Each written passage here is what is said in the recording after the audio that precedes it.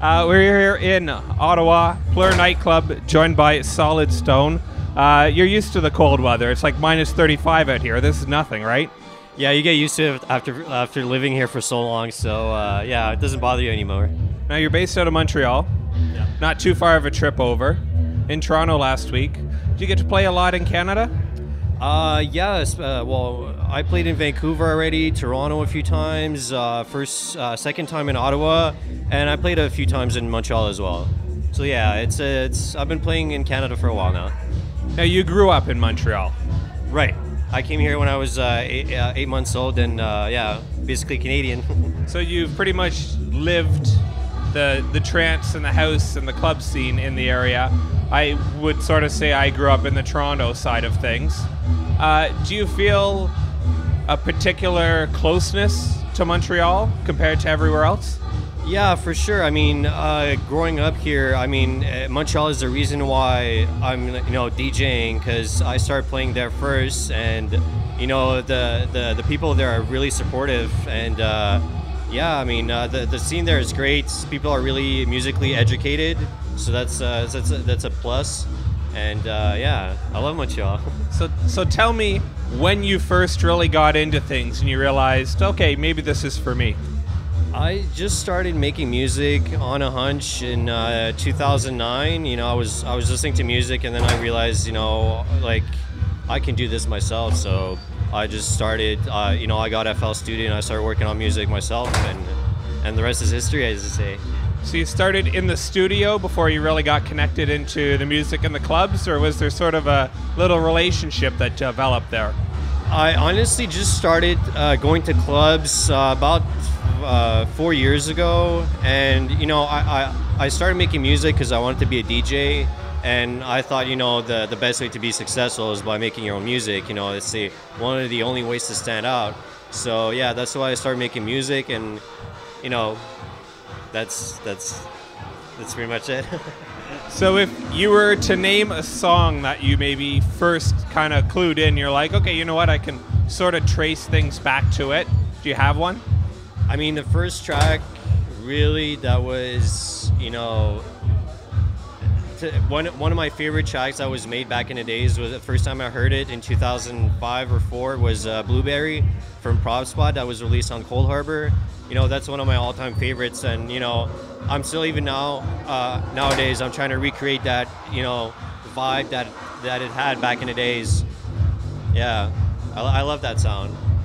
I, uh, I foreplay is my favorite from from his actually. So, which is great, and you've found yourself playing and loving that style, uh, and you really champion it.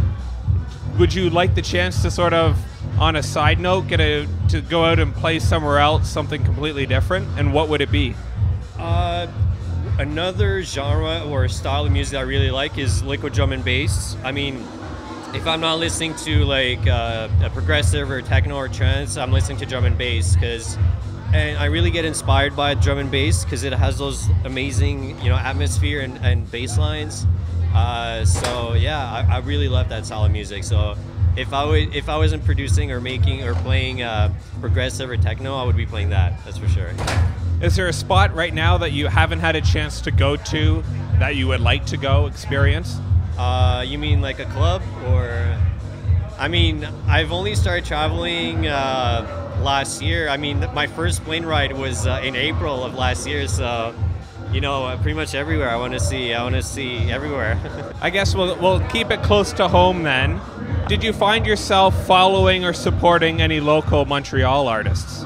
To be honest, there's there's uh, there's a guy from Montreal as well uh, called Tomac. He makes, uh, I mean, he's he's up and coming, and he has like he's getting good support from uh, Aly and Fila especially, and he has releases on Armada, and I think he's going to do very well. Is there someone you'd like to be able to work with?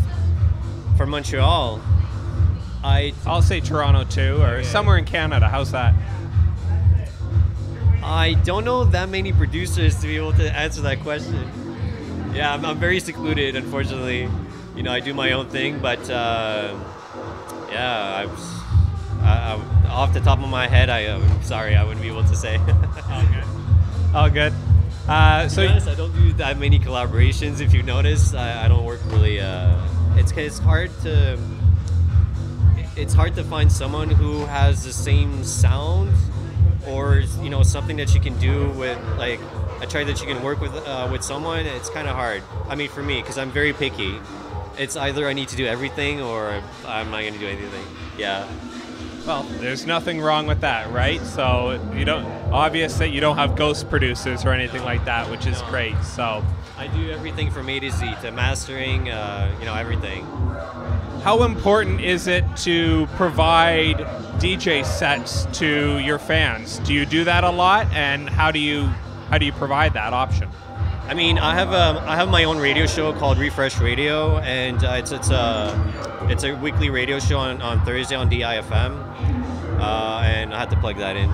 And uh, you know, it's a one-hour mix, but it, it showcases what my DJing is like. Uh, you know, it's just a one-hour show, but I try to showcase uh, in one hour what's and how I would be uh, like building my sets, starting from you know deep progressive to like the more techy and then trancey, and you know bringing it uh, back down a little at the end.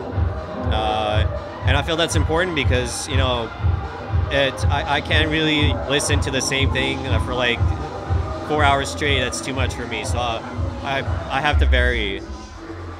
And I guess we'll sort of finish off with with the new albums on the way.